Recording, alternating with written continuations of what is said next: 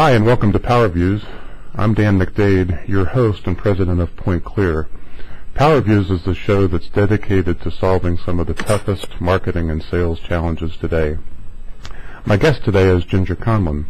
Ginger is editorial director of One to One Media, and she's responsible for the direction and the day-to-day editorial operations of award-winning publications, including the executive journal Customer Strategist, online business publication One to One Magazine and its weekly digest e-newsletter, and Think Customers, the One to One blog. Additionally, she was recently selected as one of the top 25 CRM influencers you should be following by Zoho. Ginger has covered the industry for more than 25 years. She regularly speaks at industry events, and she has both contributed to and edited several books on customer strategy. Ginger, welcome to PowerViews. Thanks for having me, Dan. It's great to be here. Uh, great to see you as well. Um, I wanted to read the beginning of a blog. Um, I think it was a blog from, let's see, just last week, which I found fascinating, and I think it'll maybe set us up for today's conversation. And you quoted um, somebody from the Strativity Group by saying that self-service is the equivalent of outsourcing tier one service to customers. So if they escalate by calling a contact center, the service better be great. Um, I wanted to kind of launch into our conversation today first by saying that you and your organization are very customer focused, obviously. So what's happened or not happened so far in 2012 that surprised you, and, and how are companies doing right now and pleasing their customers? Well, let's see. You know, there's quite a mix. I mean, it's interesting to see how many companies are um, really putting a focus on the customer experience, but there are still plenty who are, um, there's a lot of challenges to, to make their short-term numbers, customer experience often suffers in the process, but we do see a great number of companies really focus on customer experience, customer service, and I think part of that is, you know, it's a combination of the economy that you know over the past few years, combined with social media, has brought us to a point where you you can't hide from what customers are saying about you anymore. So you better deliver a great customer experience because, as we all know, you know, it costs less to retain current current customers than find new ones. So you really need to focus on building those customer relationships, on delivering great customer experiences to keep your customers that you have, to have them recommend, you know, to make sure that that you know the comments are more positive on social than they are negative. You know, everyone has a megaphone these days, and um, you know, along hand in hand with this, one of the things that I've noticed is, um, and not just me, but you know, one of the things that I'm seeing really broadly in the market is, um, along with customer experience, companies are talking about trust uh, Don Peppers and Martha Rogers are calling it trustability when it's proactively um, building a trusting relationship with your customers. And I think because of social and because of the focus on customer experience, trustability and be, being a trustworthy company has also uh, become kind of a hot button issue. A lot of the analysts are talking about it. You see, you know, articles about CEOs talking about it. So this has really become a strategic issue.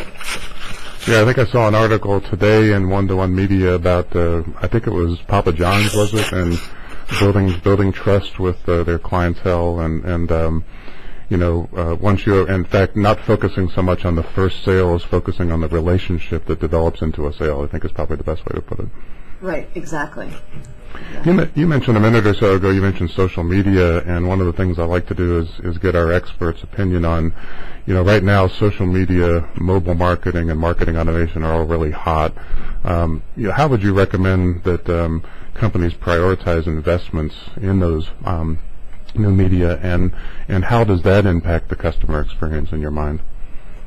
Well, I think as far as prioritizing, I'm going to have to say it depends. um, I think what you need to understand first is how your customers prefer to interact with you. How, how often are your customers on social? How do they use it? Where do they use it? You need to understand that before you make determinations on what your investments are going to be in social because if your customers you know, aren't on Facebook, do you really need to be there? Or do you want to be there to interact, say, with the press or what have you? I mean, I think you really need to understand what for example, social means to um, to your customers and your other constituents. And then also the same thing with mobile. Now, does every company need a mobile app? Maybe not. but do does every company need to mobile mobile optimize their website? Most likely, because as more and more customers uh, are using smartphones and you know the increasing adoption of um, accessing the mobile web, you need to be prepared for that. So again, it depends on how much your customers um, are using those tools and want to interact with you in that way. And marketing automation, yes, you should be using marketing automation. The ways that you use it depends uh, heavily on how you are going to be interacting with your customers. You know, I, you want to, you, when you have um, the right strategy in place, tools, whatever the whatever the tool is, whether it's marketing automation or mobile connectivity or social interactions, they're going to help you reach those goals. So the most important thing is to get that strategy in place and by understanding your customers. And I think this is where voice of the customer comes in and keeps growing in importance because you really need to take the time to learn about your customers from what they're telling you but also what you can find out in the market by listening in on their social interactions, by understanding their web behaviors and things like that. What do you What do you think about? Uh, there's kind of a, a, a, active argument going on right now between inbound and outbound marketing, and I almost feel like we're turning into a very reactive instead of a proactive world. Um, how do you? Is there room for inbound and outbound marketing? Um, you know, what's your what's your recommendation to folks looking at kind of the balance between inbound and outbound?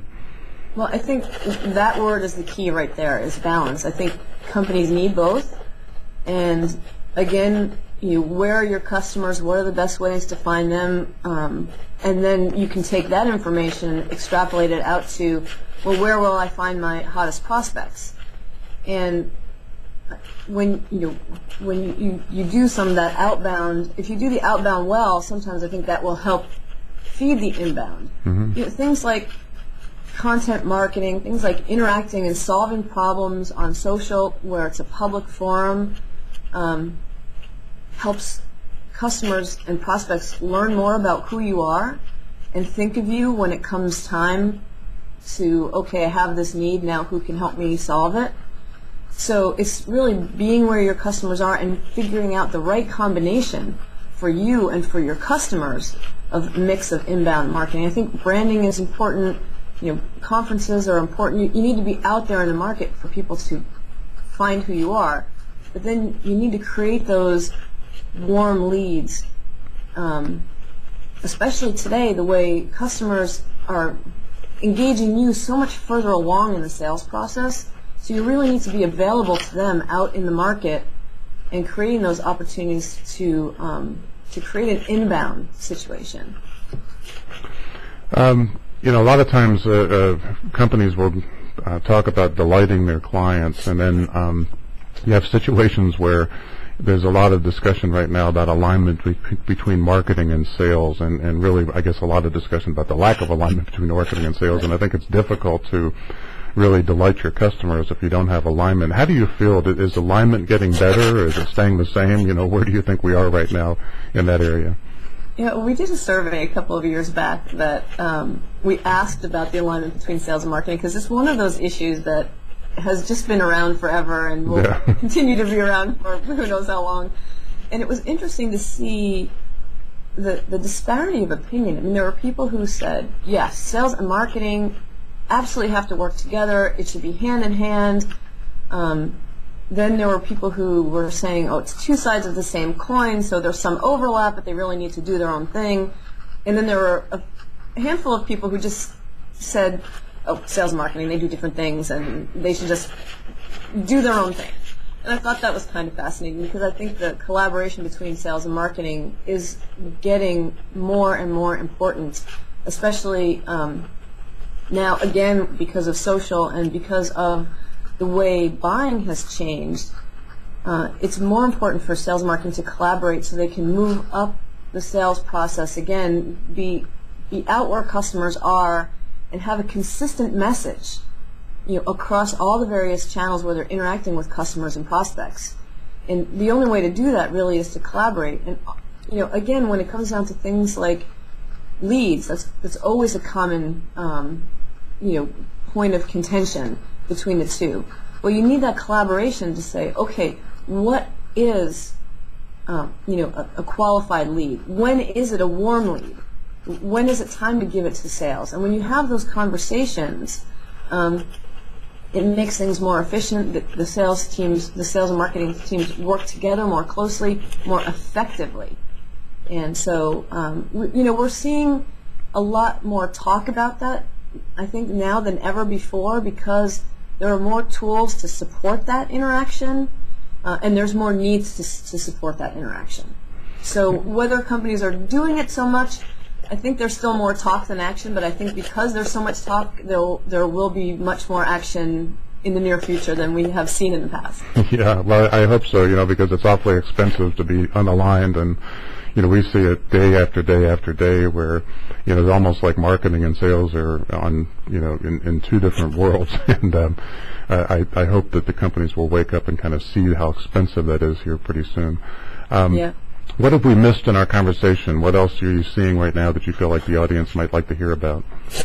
I think um, one of the one of the questions that we were talking about bef- before um, the call was that on the uh, you know, what advice would you would you give to sales and marketing folks? So on, on the marketing side, I would say um, that you know we, there's a lot of talk now about big data, and I think that it's really time to pay attention to pulling data together from all the various sources that you have access to, but making sure that you're pulling together that right data. What is the data that you need to support your business goals and to get a better understanding of your customers? Because um, when you have information about your customers that your competitors don't have, then you can do things for your customers, whether it's communicate to them in a more relevant way, present them with unique products or services, or customer support or experiences differently than your competitors can because you know what they want uh, and what's important to them at a level that your competitors just can't match. And that will create a competitive advantage. So I think getting that, harnessing that big data is really important today. And on the sales side, I think really it's time to embrace social if you're not. You know, you should be listening in. Again, as we talked about earlier, the, the buy cycle is changing.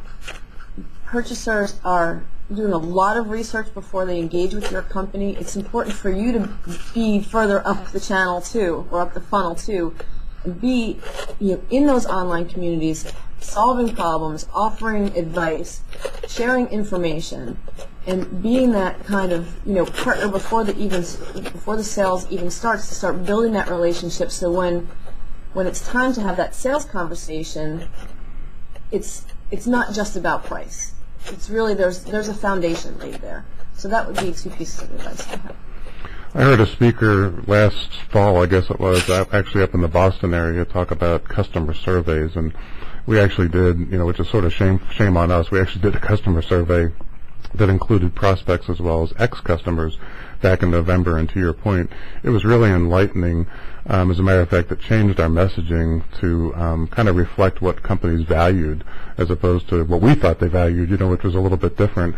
And um, and in some cases, we weren't sure the customers were actually, you know, understanding how we were different, and they in fact did. Think they were pretty savvy about that, and I'm pretty savvy in how they used um, the advantages of working with our company. So I, I, think you're right on with that.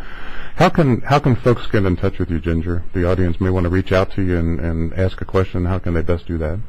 Oh, sure. Well, our website is one-to-one-media.com, so uh, you know that's that's um, easy way to, to find us. Also, um, my email is ginger.conlon at one-to-one.com. So uh, you know, you can contact me anytime, and I'm on uh, Twitter at, at Customer Alchemy.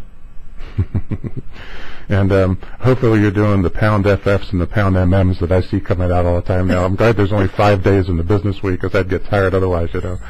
Um, so th- th- thanks again, Ginger, for being with us today. Uh, for now, this is Dan McDade signing off from this edition of Power Views. Thank you for watching.